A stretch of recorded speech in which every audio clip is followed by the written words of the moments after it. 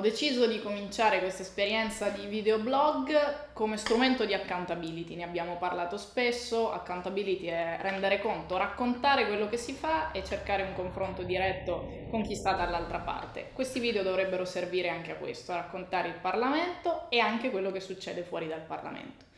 Questo primo appuntamento è per raccontare il Freedom of Information Act. Purtroppo dobbiamo usare il termine inglese non a caso perché in Italia non abbiamo una legge compiuta sul diritto d'accesso agli atti.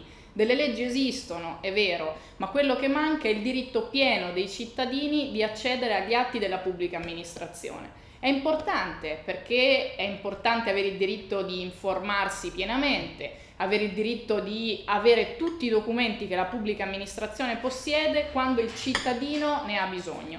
È importante perché l'amministrazione in questo modo è obbligata ad essere trasparente. Quante volte abbiamo sentito parlare di corruzione? La corruzione si combatte in questo modo, anche in questo modo, dando l'obbligo a chi sta nella pubblica amministrazione di rendere accessibili documenti, i documenti che i cittadini chiedono.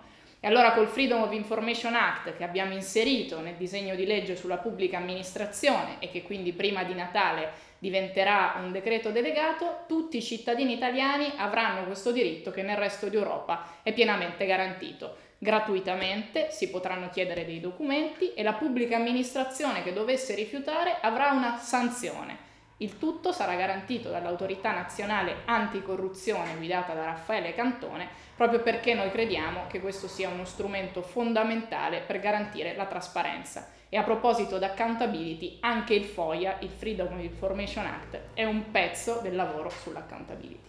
Grazie a tutti.